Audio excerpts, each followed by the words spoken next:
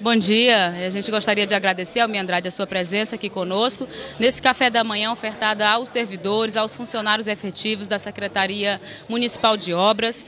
É, estamos hoje aqui na apresentação de todos os secretários para os funcionários.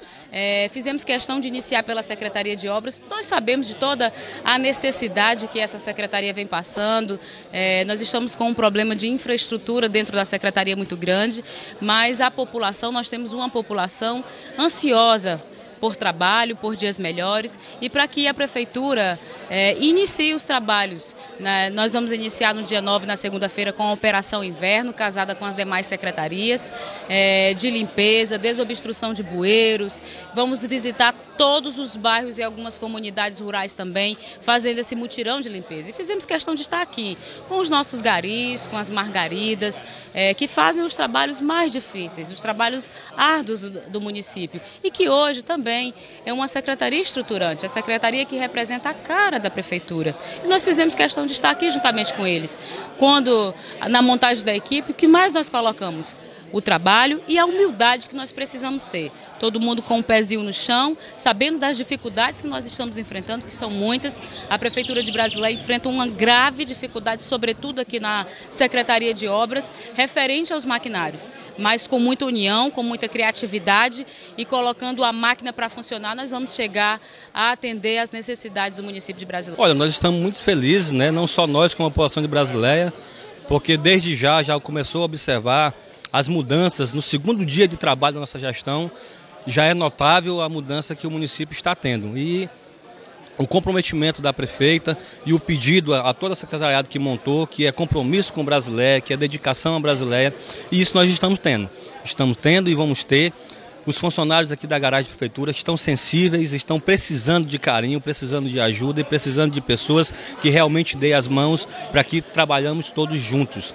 Com isso, estão todos imbuídos, estão todos solidários a nós começarmos na segunda-feira a nossa campanha de limpeza na cidade brasileira, no qual vai ser o marco da nossa história aqui como gestor, porque brasileira está abandonada, brasileira está um lixo só, e não é isso que nós, não quer, que nós queremos brasileira. Nós queremos cuidar de brasileira igual cuidamos da nossa casa, igual cuidamos da nossa família, amando e respeitando a população de brasileira. É de partir o coração, de partir o coração a forma que nós recebemos os equipamentos da garagem prefeitura, todos, em sua maioria, sucateados, sucateados.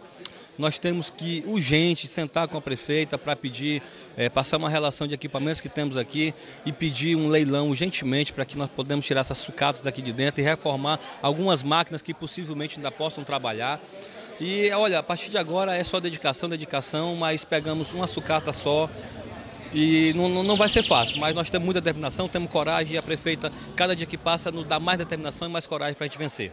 Sem dúvida, a gente fica muito feliz de participar desse momento, acompanhando a prefeita Fernanda, o vice Carlinhos, que é o secretário, toda a sua equipe, para que os servidores desta secretaria tão importante para os trabalhos do município possam conhecer e, sobretudo, a reafirmação do compromisso que a Fernanda tem para reerguer, cuidar da nossa querida brasileira. E nós, na qualidade de deputada estadual, de parceira, de apoiadora, estamos aqui firmando também esse nosso apoio, esse nosso compromisso nessa interlocução junto ao governo, ao governo do Estado, com o governador Tião com o senador Jorge Viana, todos os nossos parlamentares, a nossa bancada estadual. E o mais importante é que a Fernanda tem essa experiência adquirida até na época que nós trabalhamos também na prefeitura, sabemos do grau de responsabilidade que ela possui, assim como a equipe que ela escolheu, pessoas altamente